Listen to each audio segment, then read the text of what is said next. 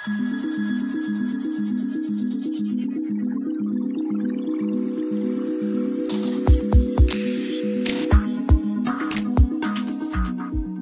water distribution networks in many countries are aging and under severe strain. They are a little more fragile every day, leading to extensive water loss. In some areas, less than one litre of water for every two produced reaches the tap.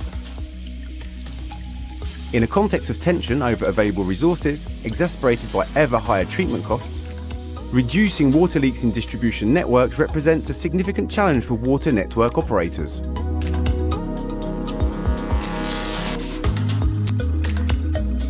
Simultaneously, the needs of the population and the demands for perfect water quality are growing. With network district metering, instrumentation and regular transmission of data using Sofrel LS data loggers, you have the optimal analytical and management tools for your network.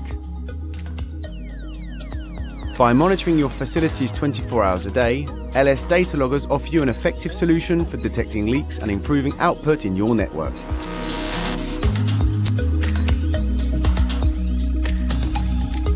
100% water sector dedicated, waterproof, and operating autonomously for up to 10 years, they are easy to deploy in harsh environments. Sofrel LS data loggers interface easily with numerous district meters and flow meters. They remotely read meter indexes and transmit internal data from the electromagnetic flow meters. They perform pre-calculations and produce daily balances in order to provide ready-to-use data. Sofrel LS powers and controls pressure sensors. It continuously measures quality of service and optimizes network pressure by controlling a pressure valve. By intelligently modulating pressure according to demand, the flow from diffuse leaks is immediately reduced. Reliably transmitting and sending data from sensors fitted on a water network is a real challenge. Sofrel LS data loggers meet this challenge through the integration of a very high-performance 2G, 3G antenna and a communication protocol, which ensures you have reliable, secure and directly exploitable data.